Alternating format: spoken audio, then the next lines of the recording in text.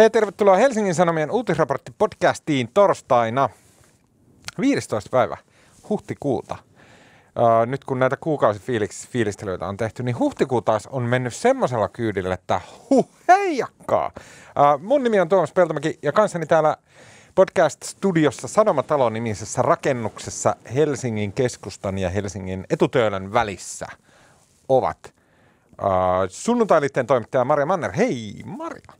Hei Tuomas. Se on Maria Iillä.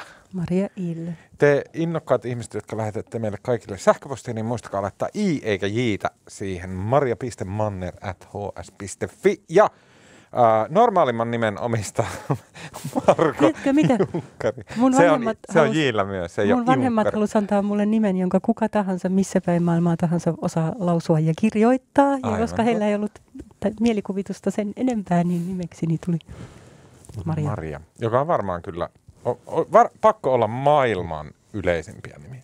Ihan pakko olla siellä niin kuin Muhammedin joukossa. Joo, Mariahan kyllä. on myös, se on myös islamilainen nimi, eikö se ole arabian kieli? Niistä on Miriam tai Niin. niin. variaatioita, kyllä. Tämmöinen äh, tota, Mariam. leksikografinen pohdinta tähän alkuun. Ää, niin, tämä ihminen täällä oli Marko Junkkari. Hän on politiikan toimittaja Helsingin Sanomain sunnuntai-toimituksessa. No niin, moi. Hei Marko. Mm, tällä viikolla puhutaan, mä myönnän heti kärkeen, puhutaan vähän sille valmistelemattomasti minun osaltani, mutta onneksi meillä on viisaat nerot täällä paikalla. Ja tota, puhutaan ainakin Ukrainan kriisistä. Venäjä vyöryttää tankkeja ja se kaikki hyvin vahvasti ja tarkasti kuvataan TikTok-videoihin ja tankit vyöryvät itäisen Ukrainan rajalle. Maailma on varpaillaan, mitä tekee Putin pelatessaan 4D-shakkia meidän kaikkien hermoilla. Ää, keskustellaan siitä. Ja lisäksi puhutaan tästä Hesarin pääkirjoituksesta seuranneesta ää, keskustelusta, kalapaliikista, showsta, ähm, kohusta. Äh, silleen tiedostaen, ettei me haluta puhua pahaa Hesarin pääkirjoituksesta, eikä analysoida sitä, mutta me halutaan puhua niin kuin siitä itse kysymyksestä, tieteestä, valtapositioista, äm, tota, Twitterin vaikutuksesta, pääkirjoitusten funktiosta, tämmöisistä niin kuin mielenkiintoisista asioista sen itse äh, tekstin ympärillä. Mutta ei haluta olla osallisia missään riidoissa. Eli älkää urputtako meille ääliöt. Se oli vitsi. Ja, vielä puhutaan, mun toive oli, että ei puhuttaisi sanaa K-O-R-O-N-A tässä lähetyksessä ollenkaan, mutta puhutaan kuitenkin ää, pääministeri Sanna Marinin vähän tukalahkosta tilanteesta johtuen siitä, että hänen pääasiallinen korona main maninsa Mika Salmela on vähän niin kuin Salminen. Salminen ää, tota, on vähän niin kuin riippuen aamusta, niin sanonut yhtenä aamuna tätä ja toisena aamuna toista. Ja miten tätä maata nyt tällä tavalla pitäisi johtaa? Ää, kysytään, ää, keskustellaan siitä. Ää, lopuksi vielä hyviä keskustelun aiheita pitkien epämukavien hiljaisuuksien varalle.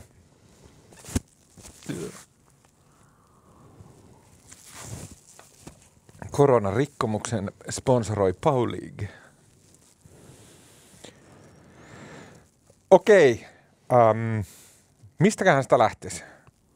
Vuonna 2014 ja 2015 maailmassa elettiin hyvin tiukkoja hetkiä, kun äh, Ukrainaan, itäiseen Ukrainaan, Krimille, Donbassin alueelle ja Luhanskin alueelle ilmestyi tämmöisiä pieniä vihreitä miehiä. He olivat venäläisiä nimettömiä sotilaita, jotka ot, ottivat haltuunsa Krimin niemimaan ja äh, Ukrainan itäisiä osia. Kuulijoissa on varmasti mittava määrä ihmisiä, jotka eivät muista tätä, olivat liian pieniä silloin. Äh, mutta tämä on faktaa. Me ollaan tämmöisiä vanhoja dinosauruksia, mutta kuitenkin. Äh, tämä oli silloin vuonna 2014-2015, tämä oli todella, todella tiukka paikka. Mä muistan itse valvoneeni ja katsoneeni livestriimiä YK on turvaneuvoston istunnosta, jossa tämmöinen aivan upea nainen nimeltä Samantha Power piti länsimäisen vapaan maailman puolia. Ää, ja sitten semmoinen venäläinen ää, kammottava sammakko nimeltä Vitali Gerkin ää, teki kaikkia rosvokelmi-temppuja. K- maailman tapahtumat mun päässä ovat sarjakuvaa. tota, okei. Tämä intro on nyt menossa johonkin ja se mihin se on menossa, että nyt tästä kaikesta on tapahtumassa uusinta. Eli yhtäkkiä pari viikkoa sitten ihmisten somet rupeaa täyttymään videokuvalla siitä, miten tankkeja junalla rahdataan kohti ähm, Ukrainan itäistä rajaa Venäjän alueella ja sitten äh, huoli äh, rupesi olemaan suuri. Marja, sä puhut Venäjää. Tosi huonosti. Sä tunnet, sä tunnet äh, tota, ulkopolitiikkaa erittäin hyvin. Sä olet ollut ulkomaantoimituksessa töissä. Mä tukeudun sun pistämättömään asiantuntemukseen tässä asiassa. Niin, mä just mietin, kun silloin kun aikoinani olin ulkomaan toimituksessa töissä, niin opin sen, että joka kevät aina alkoi Talebanin keväthyökkäys. se oli semmoinen toistuva asia aina, joka uutisoiti, että nyt se on alkanut ja sitten tässäkin mietin, että jotenkin estetty, että keväisin tämä, kun, kun säät sallivat, niin nämä niin kuin sotatoimet täällä Itä-Ukrainassa. Se niin kuin katutyöt tota, Helsingissä, sotatoimet Itä-Ukrainassa. Ni, niin, niin, mutta tota, no joo, tässä on tietysti vähän vakavampi tilanne, siellä aika paljon joukkoja, mutta niin, mistä kyse? Sitä tässä on jotenkin spekuloitu. En tiedä, onko mulla siihen mitään järkevämpää vastausta. Sikäli, siis mikä yllätyshyökkäyshän tässä nyt ei ole kyseessä, että se, on niin kuin, tai se tuntuu enemmän siltä, että Venäjä kun halusi tehdä kaikille tiettäväksi, että nyt sinne raahataan joukkoja. Ja oman tyylinsä totesi, että tuota, niistä ei ole kenellekään mitään harmia, että ei kuulu muille, mitä Venäjän puolella tehdään, mutta tuota, sikäli että jos Venäjän yrittäisi jotain semmoista yllättävää siirtoa tai tuota, joskus ajatellut, että siihen Venäjän ulkopolitiikkaan liittyy semmoinen tietty arvaamattomuus, millä pidetään ikään kuin vastustajaa jotenkin vähän varpaillaan. Niin tota, jos tästä nyt joku suuri hyökkäys tulee, niin se ei aina katsoa mitenkään kauhean yllättäen. Että kai tätä nyt on jotenkin veikkailtu semmoiseksi voimannäytöksi, jolla voi olla erilaisia motiiveja. Tietysti kukaan ei tiedä, että voiko eskaloitua, mutta niin. Tällaisia ajatuksia heräsi kylmiltään. Entäs te? Mm, mä en ole kovin intensiivisesti seurannut tätä aihepiiriä, millä mä tarkoitan, että en ollenkaan. Mut, joten hätäpäissäni, kun olin muistaakseni itse ehdottanut tätä meille aiheeksi, niin tota, mä rupesin sitten lukemaan kaiken Venäjä-tietouden parasta mahdollista lähdettä, joka on Tuomas Henrik Ilveksen Twitter-tili. Hän on siis Viron entinen presidentti, ää, todella, todella semmoinen länsimielinen – poli- mutta myös semmoinen suorapuheinen ja, ja niin kuin hyvin, hyvin jotenkin räyhäkäs poliitikko. Ja siellä muun muassa sitten Thomas Henrik Ilves oli linkannut Washington Postissa Carl Bildtin, joka on Ruotsin entinen ulkoministeri, niin hänen kirjoituksensa. Ja siellä sitten mm, Bild pyörittelee tätä tilannetta. Ja uh, okei, okay. hän ei varsinaisesti tarjoa mitään syytä, mutta niin kuin Bild alleviivaa sitä, että tämä Venäjällä puhutaan paljon tämmöistä toisesta veljessodasta, joka olisi ehkä alkamassa Ukrainassa. Sitten tota, Bild ainakaan ei vaikuta tekstinsä perusteella pitä, pitävän todennäköisenä, että Venäjä havittelee tässä minkäännäköistä isompaa hyökkäystä tai niin kuin, ö, sotatoimien laajentamista. Mm. Mutta että hän pitää just tätä poliittisten asetelmien testausta kaikista todennäköisimpänä, koska tällä hetkellä on tosi huonot välit Brysselin ja Moskovan välillä, tosi huonot välit Washingtonin ja Moskovan välillä, ja nyt on Washingtonissa uusi presidentti, Tää, tätä Bilte ei sanon, mutta mä itse jatkan siitä, ää, niin, niin ää, et, et, on uusi presidentti, ja nyt on se aika, jolloin tavallaan pystyy tämmöisillä peliliikkeillä näkemään, että missä mennään. Ehkä tuohon liittyen vielä mä aamulla lueskelin Moskovan Carnegie-keskuksen johtajan analyysiä tuolta heidän verkkosivuiltaan ja yksi, just kun mietitte, niin miksi nyt, että mitä on, mitä on tapahtunut viime aikoina, että Venäjä haluaa tällä tavalla pullistella, näyttää voimiaan, niin te, toi, siis hän mainitsi tietysti Bidenin ja sen, että Trump ei ole enää vallassa ja nyt siellä on Biden, joka haluaa lujittaa siteitä Eurooppaan, hakee niin uudestaan Yhdysvaltojen ja Euroopan välille tiiviimpää liittolaisuutta, mutta sitten toinen, mainittiin siis Venäjän ja Saksan välit, jotka on huonotuneet etenkin sen Navalny-keissin jälkeen entisestään. Niin, että ne saattaisi olla tässä ikään kuin, se, sekin saattaisi olla yksi taustatekijä. Mm. Uh, mä sit luin, ei siis, anteeksi, kuuntelin uh, podcastia, jonka nimi on, um, se on Cosmopolicast, joka on tämmöinen ulkopoliittisen analyysin uh, podcast. Siellä Tuomas Henrik Ilves oli siis itse vieraana. Ja tota, siellä oli ihmisiä, jotka syvemmin tuntee tätä Ukrainan tilannetta ja mm, Venäjän politiikkaa, Venäjän ulkopolitiikkaa. Siellä mainittiin muun muassa semmoisia syitä kuin, että mm, ilmeisesti Krimin niemimaalla on heikkenemässä vesitilanne. Ja jos Venäjä tällä hetkellä hallitsee Krimin niemimaata ja jollain tavalla Venäjän täytyy pyrkiä turvaamaan se, että sinne saadaan vesihuolto. Vesihuolto tarkoittaa, että siellä siis niin kuin vettä ylipäätänsä on ja ihmiset pystyy siellä asumaan Venäjän laivasta tukikohdat ja muut pystyy siellä toimimaan. Yksi mahdollinen syy. Sitten äh, se, mitä siellä mainittiin, mikä oli mun mielestä mielenkiintoista, oli se, että äh, nämä Luhanskin ja Donbassin alueet, niin niiden asema on heikentynyt merkittävästi sillä tavalla, että se tämä jäätynyt konflikti, millä tavalla Venäjä näitä lähialueitaan hallitsee, niin se, se on johtanut siihen, että Luhanskin ja Donbassin alueet, jotka enti, jo aiemmin oli alueita, joilla, jotka ne on vähän niin perämaita, semmoisia niin jotain tehdasröttelöitä siellä, Näin mä ainakin muistelen, että silloin puhuttiin vuonna 2015, kun näitä enemmän luin, niin, niin että niiden asema on käynyt sillä tavalla sietämättömäksi, että ne ei niin kuin millään tavalla pysty enää olemaan olemassa, millään tavalla pitämään yllä yhteiskuntaa ilman Venäjän todella isoa rahallista tukea.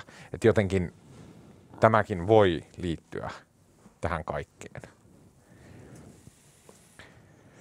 Uh, Suomi totta kai voimakkaana kansainvälisenä pelurina on Sauli Niinistön suulla tarjonnut tästä tälle kaikille ratkaisuksi se, että jengi tulee Helsinkiin ja tota, sitten pidetään täällä kokousleirän kättä päälle. Et me niinku pyritään samanlaiseen asemaan kansainvälisellä näyttämällä kuin Minsk. tota, Marko, m- mitä sä oot mieltä tästä? Niinistön aloitehan tuli ennen kuin tankit vyöry Ukrainaan tästä arktisesta huippukokouksesta Venäjän ja Yhdysvaltojen välillä. Ja nyt se jotenkin vaikuttaa siltä, että sille oikeasti voisi olla tilausta. Onko Niinistä vaan aivan upea media, joka tietää tulevaisuuden, mistä tässä on kyse? Niin mä yritin miettiä sitä. Siis, äh, no, siis Niinistöhän on ollut jo kymmenen vuotta, kymmenen vuotta tota, presidentti, toista, toistakymmentä vuotta presidentti ja tota, kohta ja se on niin kuin, hän on niin kuin pitkäaikaisimpia valtionpäämiehiä, jota nyt tässä lähialueella on ja sehän niin kuin jo Trumpin viime kaudella onnistui, niin kuin oli varmaan yksi harvoja tämmöisiä poliitikkoja, joilla oli suhteet sekä Putinin että Trumpiin ja tavallaan siitä oli hyötyä sitten Niinistölle ja Suomelle, että kyllähän niin se Niinistö sai kutsun valkoiseen taloon, mitä Suomen presidentit ei, ei sitä ennen ollut vähän aikaan saanut ja totta kai se on kiva, kun kiva, kun Suomi näkyy tämmöisissä kansainvälisen diplomatian kuvioissa ja siinä ei sinänsä mitään pahaa. Ja siis lähtökohtaisesti kuulostaa kivalta, että niin kun Suomi tarjoutuu tämmöisen huippukokouksen pitopaikaksi ja silloin, oliko se nyt 18, se oli se. 18 kesällä. Joo, ja sehän oli, sehän oli siistiä, kun täällä oli, täällä oli tota Trump ja Putin ja valtavasti toimittajia ja oltiin tota, Suomi näkyi, Suomi näkyi tai kauppatori näkyi tuolla tota, kansainvälisissä lähetyksissä. Mutta tota, sitten jotenkin samaan aikaan niin mietin, mistä tämä niin kuin, tämähän on, niin kuin, tämähän on niin kuin tosi 70-lukua. Suomessa oli etyk, etyk silloin 70-luvun alkupuolella ja se oli tämmöinen Urho Kekkosen suuri voimannäyte, mutta silloinhan Suomi oli kumminkin niin kuin, Suomihan oli niin kuin korostetun puolueeton, tai se oli tämmöinen mantra, mutta samaan aikaan niin pelättiin Neuvostoliittoa, niin pirusti ja koitettiin olla koko ajan varpaillaan ja oltiin huolissaan, jos länsimaat on sitä mieltä, että meitä syytetään suomettuneeksi. Ja tavallaan se semmoinen liennytyspolitiikka, missä oli koko ajan se Neuvostoliiton jotenkin jäniksen tassu siinä mukana vähän veivaamassa sitä, niin se oli, se oli niin kuin suomalaisen ulkopolitiikan se huipentuma. Että me oltiin niin kuin neutraali, mutta ei sitten kumminkaan ihan oltu neutraaleja.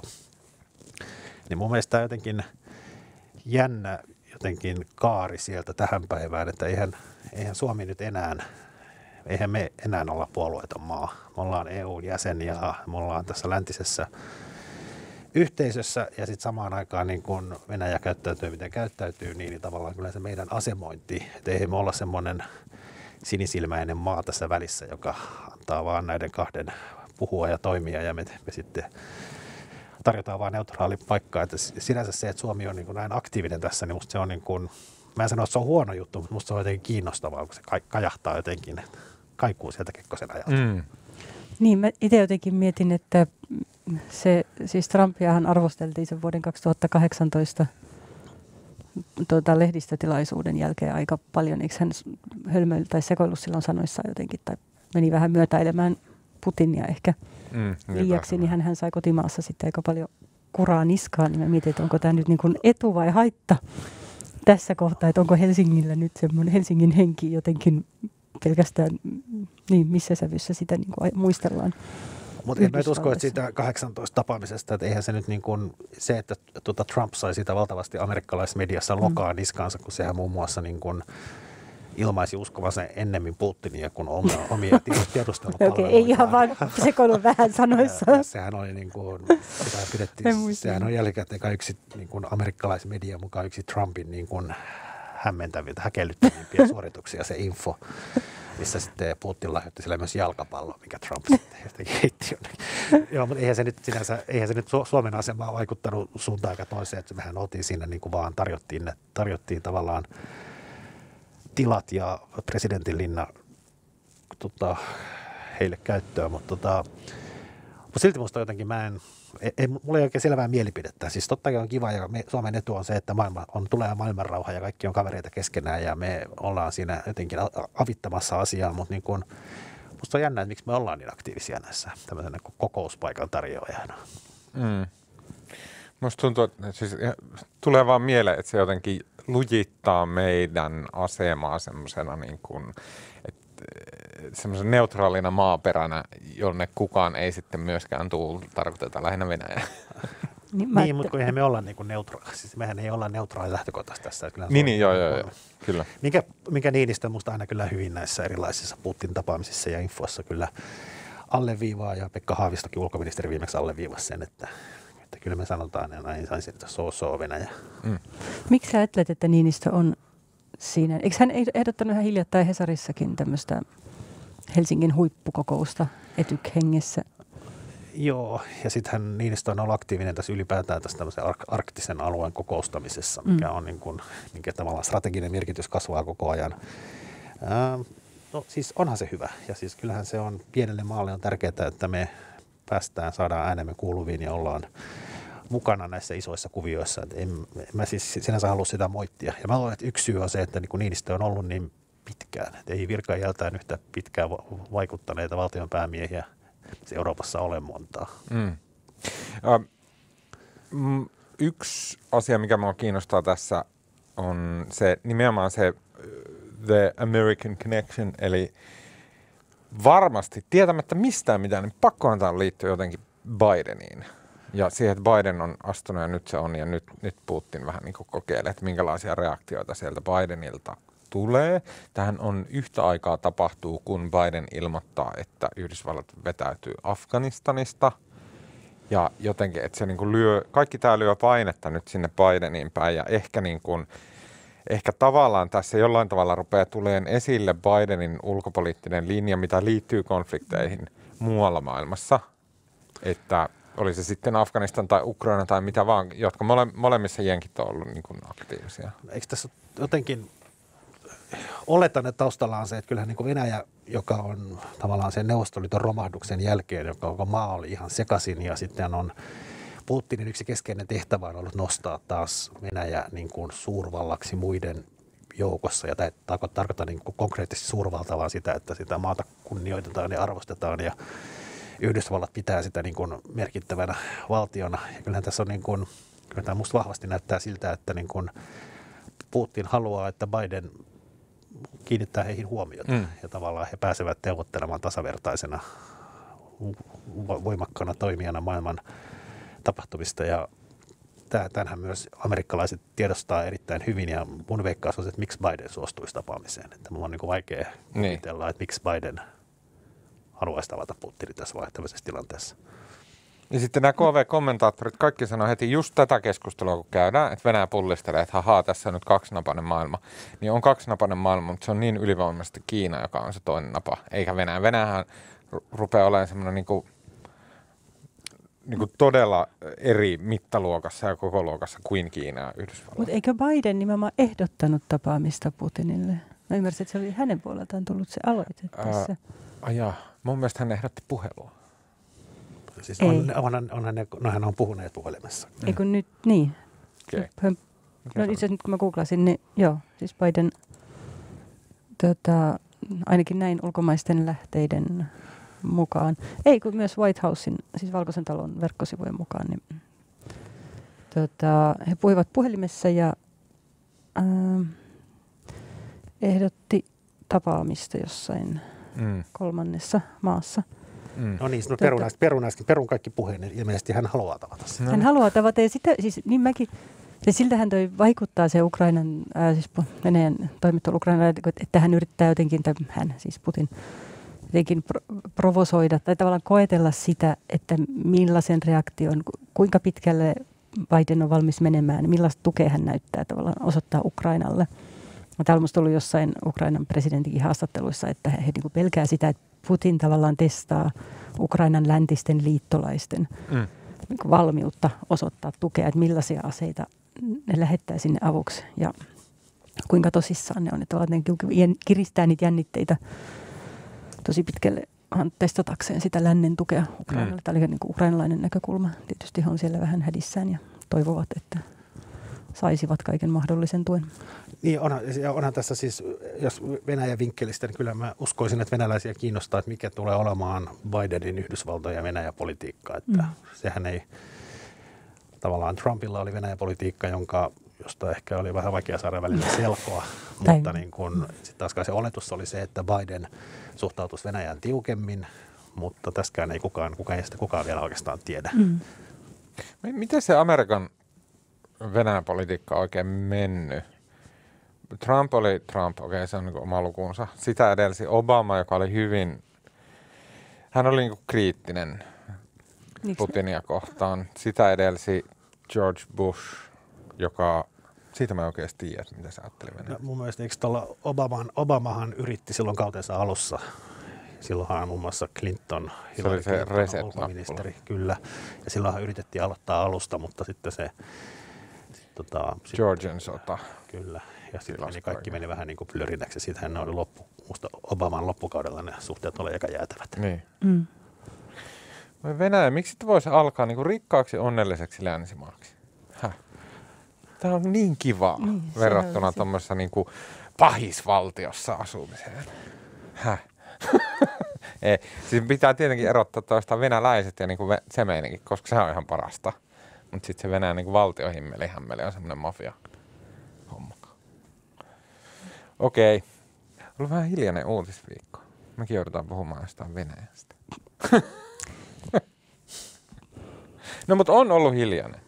Noissakin meidän... No po- ka- ku- kai toimittajat ei tehdä muuta kuin koronaa ja sitten Niin, heti kun koronassa ei tapahdu mitään, niin on sille, hää, mitä muita aiheita on maailmassa?